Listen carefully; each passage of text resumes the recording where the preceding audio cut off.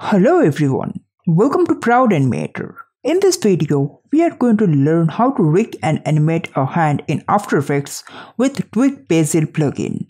So for that, this is the illustration we are going to use in this lesson and this is how I have separated the layers in Adobe Illustrator to prepare the file for animation. Okay, now let's jump on to After Effects and start with the hand rigging process. Okay, so now we are going to rig this hand. So I'm going to select the forearm and I'm going to move the anchor point and put it over here. And I'm going to select the hand and move the anchor point and put it over here.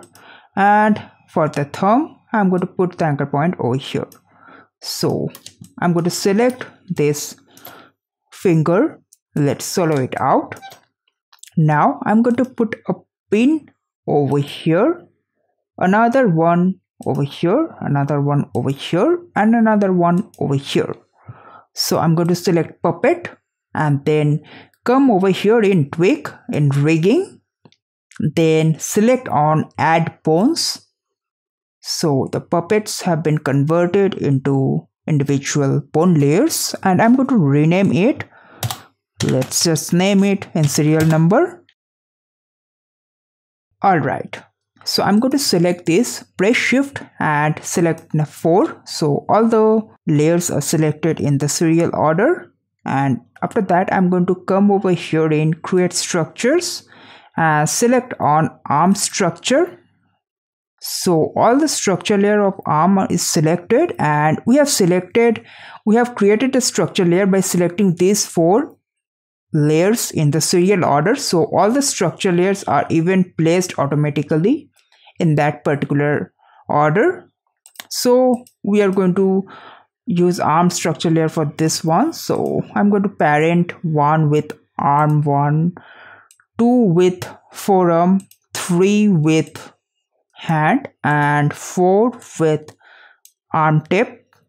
And then i'm going to select the structure layer and then click on links and constraints and then click on auto rig and right now your hand should be rigged properly.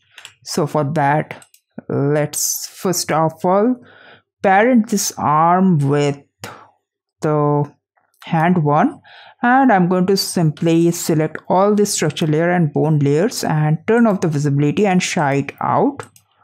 And right now I'm going to open the scale property of it and you might find that uh, it's uh, very large so we can scale it down. But right now you can't because it's locked. So for that you have to press alt and press and hold alt and click on it to disable the expression. And after that we can scale it down. Okay. So if i move it the finger is rigged as you can see. And as we have parented with hand so it's also moving. This part is moving but it's not. So we can simply parent this with hand one as well.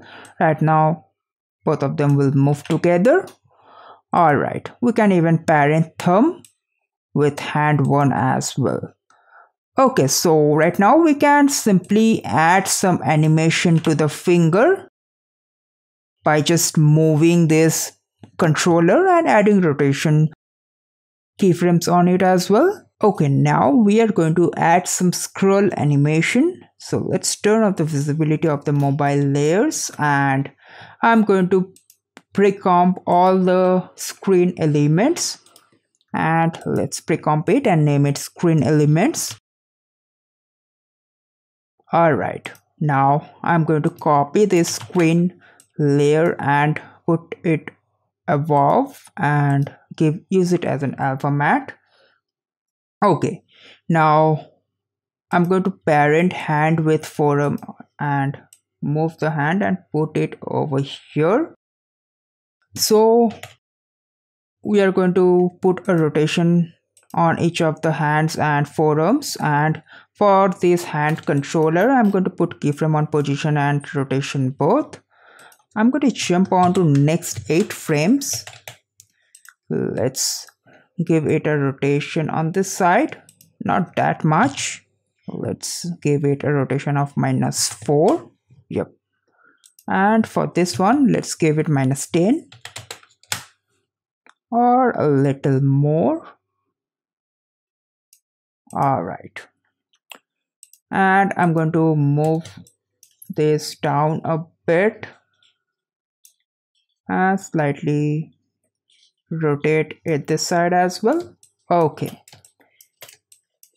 So after that i'm going to jump on to next eight frames again and put this uh, put keyframes and we are going to change the position. So basically we are going to give it minus or rather we are going to copy the initial keyframes but at this point we are going to add some overshoot to the animation as well. So this is the neutral pose which the hand will come back after the scroll. So at this point there would be some opposite motion not that much. Uh, let's give it minus 0.6 degree of rotations and this one 1 and this one slightly move it in the opposite side. And give it a rotation of minus or uh, 4 okay. So i'm going to select the keyframes and easy as it. Let's check our animation. Yep. But you can see here is some joint breaks over here. You can fix it very easily you just need to add some position keyframe on this on this layer. And at this point we can simply move it and try to fix it up. And like this at this point there isn't any that kind of problem. We can simply copy the initial keyframe. All right. So like this you can animate hands now we can even add some follow through to this animation. Right now the whole hand looks a bit stiff so we can simply select all these keyframes and slightly just offset it by two or three frames. Don't do it too much otherwise it will look like some spaghetti kind of movement let's check out.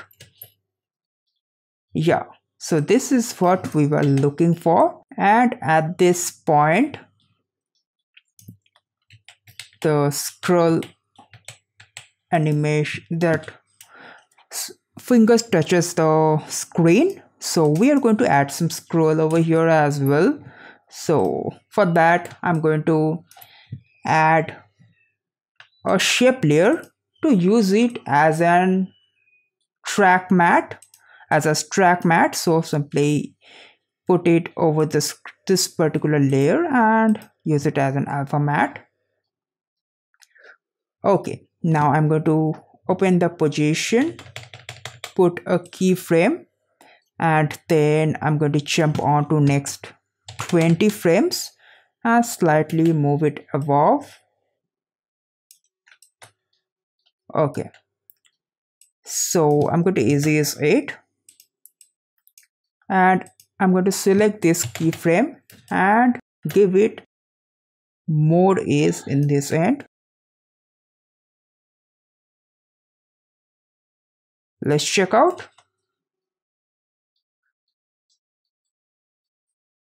Alright, so that is how you can animate and rig and animate a hand in After Effects with Duik Bassel plugin just within few minutes. So do try it on your own and do let me know if you have any doubt regarding the lesson. So that is it for this video. If you liked it then make sure to hit the like button. If you have any doubt regarding the lesson make sure to comment down.